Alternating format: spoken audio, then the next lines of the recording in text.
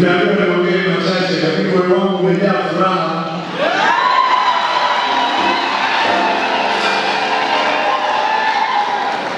Moyo ukishajaa furaha, unajua unaburudika tu.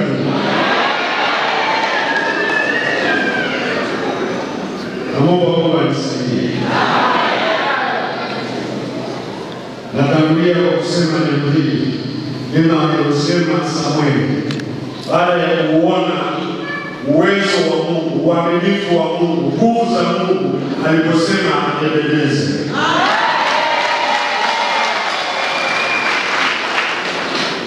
Hata sasa Bwana amenisaidia.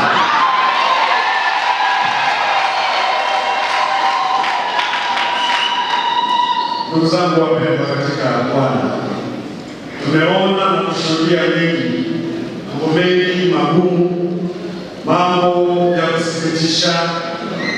Tumesikia na kuona upotoshaji mwingi ukifanyika, tumeona na kusikia uongo mwingi ukisemwa, tena kwa bahati mbaya sana ukisema na wapakwa mafuta. Tumeona mambo mengi ya hila na kiburi kingi yakifanyika, lakini tumeona na kushuhudia pia Wakristo waaminifu wa Mungu, watumishi waaminifu wa Mungu waliosimama imara na waliokuwa wakisikitishwa sana na hali iliyokuwa inaendelea.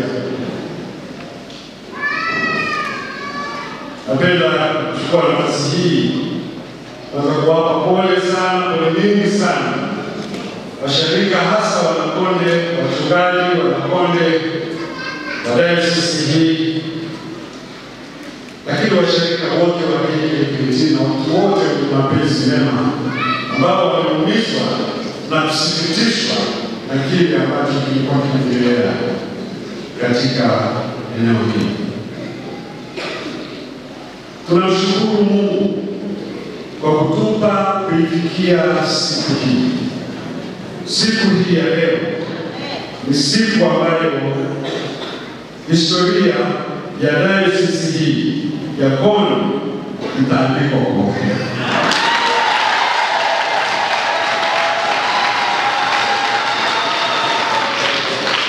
Nasema imeandikwa na itaandikwa kwa upya kwa kuwa mmeshuhudia nini wenyewe kilichofanyika hapa na baba askofu mstaafu Dr. Mwakyembe. Mungu wetu, ndugu zangu, ni Mungu mwaminifu.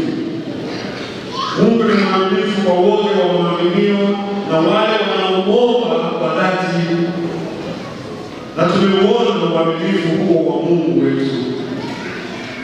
Tumemshuhudia Mungu wetu huyu aliye mwaminifu akijibu maombi ya watu waaminifu wa dayosisi hii. Najua mpo watu mlikuwa mnaomba usiku na mchana, mpaka watu walikuwa wananipigia simu, kuniandikia meseji, kwa kanisa tunaomba, tuko pamoja na wewe.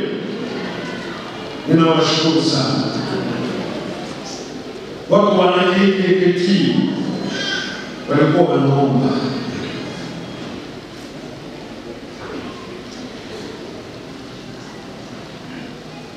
na Mungu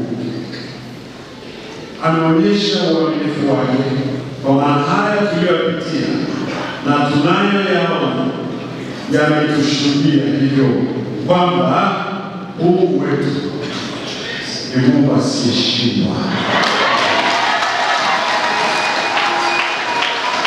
Mungu hashindwi kamwe, na Biblia inasema heri mtu yule anayemfanya Bwana kuwa tumaini lake. Lakini napenda kusema pia, wala kanisa la Bwana halijawahi kushindwa. Ashindanaye na kanisa, ashindanaye na mambo ya Mungu, anayeamua kwa makusudi kulitesa kanisa la Mungu tena kwa historia inaonyesha wakati wote amejikuta yeye akishindwa na yeye akiaibika.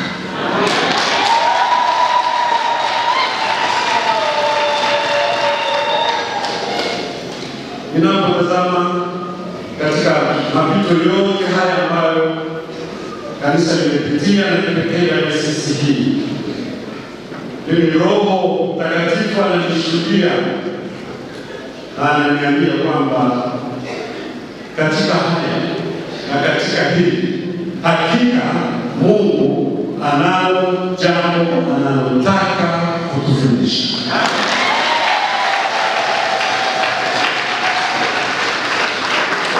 Mungu anao ujumbe kwa kanisa lake, kwa watu wake, kwa watumishi wake. Anao ujumbe kwa jamii yetu. Zangu, heri tusikie sauti yake, heri tukajinyenyekeshe na tukaendelee kujinyenyekesha, heri tukatubu, tumwache Mungu afanye jambo jipya kwa dayosisi ya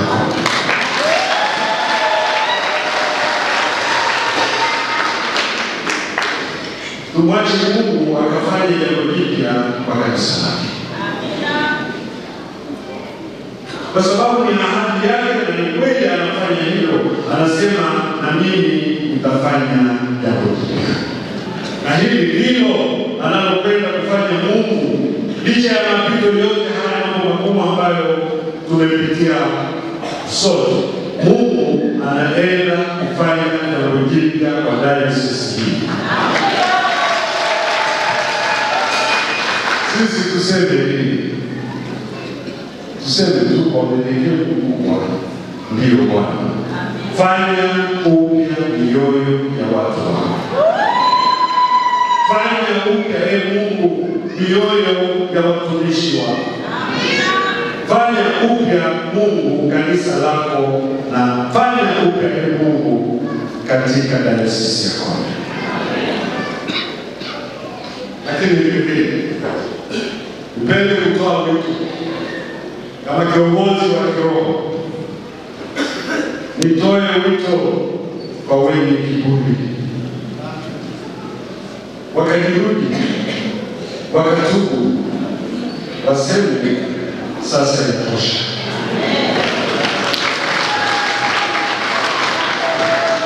Lakini tumejidanganya, yamkini tumedanganywa, tumepotoshwa, tukakubali kupotoka. E Mungu uturehemu, e Mungu utusamehe. Nipende kuambia hawa mlango wa rehema bado uko wazi.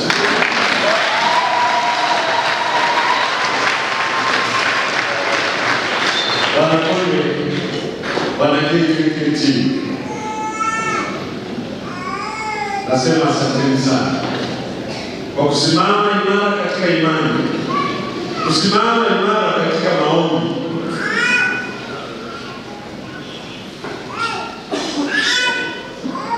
Na kwa kipindi chote hiki tumeuona uaminifu wa Mungu wetu, lakini tumeshuhudia pia neno la Mtume Paulo katika Warumi nane thelathini na moja anaposema